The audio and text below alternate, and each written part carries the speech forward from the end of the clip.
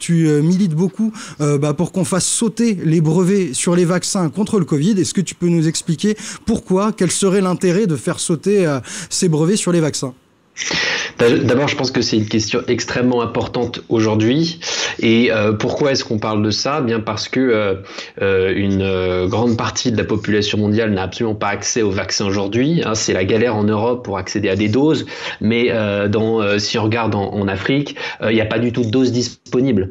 Et le problème, il est à la fois pour ces pays, pour ces pays pauvres, pour ces pays à bas revenus, mais aussi pour les pays riches. C'est le problème du développement de variants. Et on est déjà en train de voir que notamment le variant sud-africain, est plus résistant à nos meilleurs vaccins. Il est plus résistant au vaccin euh, Pfizer-BioNTech notamment. Le variant brésilien, c'est aussi probable que ce soit le cas. Et euh, en, laissant courir ces vaccins, en ne vaccinant pas la, tota-, la, totalité de la population mondiale cette année, eh bien, on prend des risques énormes de réinfection de toutes les populations qui auront déjà été euh, infectées. Donc, il y a un enjeu éthique il y a un enjeu moral, mais aussi un enjeu très stratégique pour les pays riches, en fait, dans leur propre stratégie de vaccination euh, nationale. Et du coup, que, faire face à cet euh, état euh, des choses aujourd'hui? Eh bien, les pays pauvres, les pays émergents demandent depuis octobre dernier la levée des droits de propriété sur les brevets, sur le matériel médical lié au Covid, sur les formules des vaccins, avec un argument qui est simple, qui est de dire aujourd'hui ces, euh, ces vaccins qui, qui, ont été inventés, notamment les plus euh, efficaces, sont couverts par des droits de propriété. Et donc nous, pays émergents, pays à bas revenus, dans certains cas, en fait, on a des capacités de production qui ne sont pas utilisées pour produire ces vaccins-là. Euh, pourquoi? À cause des droits de propriété qui sont savamment gardés, protégés par les firmes qui ont développé ces vaccins. Et donc, pendant l'épidémie Covid, levons ces droits de propriété. Comme ça, tous les labos du monde pourront à la fois faire des recherches, pourront aussi développer ces, euh, vaccins et pourront commercer avec d'autres pays euh, pour vendre les vaccins qui auront été produits, à plus bas coût dans des euh, conditions un peu différentes probablement dans les pays émergents, dans les pays à bas revenus. Et donc ça, ça permet de libérer les capacités productives au niveau mondial, et ça permet, sans retirer des doses aux pays du Nord, parce que c'est ça qui est important ici, c'est qu'il ne s'agit pas de retirer des doses aux Européens qui en manquent aujourd'hui, il s'agit d'en produire davantage dans l'ensemble du monde.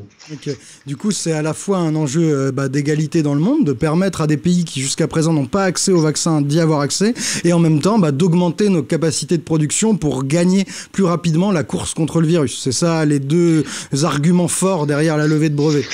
Et j'en verrai peut-être un troisième. Donc, comme, comme, comme, tu l'as bien résumé, le premier, c'est l'argument éthique, l'argument moral. Le deuxième, c'est l'argument de la stratégie vaccinale, de l'efficacité de, de notre propre stratégie vaccinale en Europe ou aux États-Unis. C'est-à-dire qu'on se fera réinfecter si jamais on ne vaccine pas assez rapidement l'ensemble de la population mondiale. Et puis le troisième enjeu, je pense que c'est un enjeu aussi de géopolitique. C'est-à-dire qu'aujourd'hui, il y a certaines euh, régions du monde, certains pays qui sont très en avance sur euh, comment est-ce qu'on va utiliser l'outil, l'arme des vaccins, pour faire de la géopolitique, pour se positionner dans tel ou tel pays. Je pense notamment à la Chine, je pense aussi euh, à la Russie. Et ce sont notamment la Chine, des pays qui, en fait, à l'Organisation mondiale du commerce, là où l'Inde, l'Afrique du Sud et plus d'une centaine de pays émergents demandent cette levée des droits de propriété, eh bien la Chine euh, euh, se met du côté, se range du côté de ces, euh, de ces pays-là contre l'Union européenne et contre les États-Unis, qui depuis plus de six mois maintenant bloquent sur cette question, tout en disant publiquement le vaccin doit être un bien public mondial. Donc ici, il y a un paradoxe, ici, il y a une langue de bois, ici, il y a un double langage qui est extrêmement euh, fort, qui est extrêmement puissant et qui va vraiment à, rebours euh, de nos intérêts, euh, finalement, nos intérêts propres c'est juste euh, pourquoi ils font ça, les États-Unis et l'Union européenne? C'est pour des histoires de gros sous? C'est pour faire des meilleures marges à Pfizer, qui d'ailleurs vient d'augmenter euh, le prix de ses doses? C'était à 12,5 euros euh, la dose, maintenant c'est à 19 si on suit le président bulgare. Est-ce que c'est juste une histoire de gros sous ou est-ce qu'il y a un autre intérêt derrière la crispation sur les brevets? Parce que tout le monde a intérêt à gagner la bataille contre le Covid. C'est juste quelques milliards. Alors, non, tout le monde n'a pas euh, intérêt à lever les droits de propriété sur le vaccin. Euh, les, laboratoires pharmaceutiques qui ont développé ces vaccins estiment qu'ils sont euh, en droit, en tout cas pour nombre d'entre eux, de récupérer les milliards de bénéfices qui vont aller avec. Et donc, l'argumentaire de, ce que les Anglais appellent Big Pharma, ou des gros labos, c'est de dire si, on lève les droits de propriété sur ces vaccins, c'est vraiment terrible ce qu'on fait euh, à la propriété euh, intellectuelle, c'est vraiment terrible ce qu'on est en train de faire à l'innovation future. On va complètement désorganiser le marché et on n'arrivera plus, nous, les labos, à s'adapter euh, aux variants qui arrivent.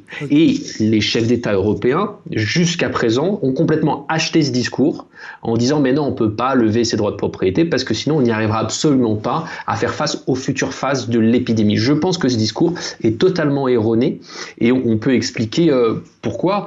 Euh, l'une des raisons euh, principales, c'est de dire que en fait, on ne peut pas être moins fort collectivement dans nos, dans nos capacités d'invention de nouvelles réponses à ces, à ces vaccins, trouver de nouvelles formules, trouver de nouvelles manières de les produire, si en fait on va rajouter des équipes en Chine, en Inde, en Afrique du Sud, au Brésil, qui vont également travailler sur ces formules. C'est-à-dire qu'aujourd'hui, une partie des découvertes qui permettent euh, de produire ce fameux ARN messager, de le, de, de, de, de le produire euh, à grande échelle, sont protégées par ces brevets.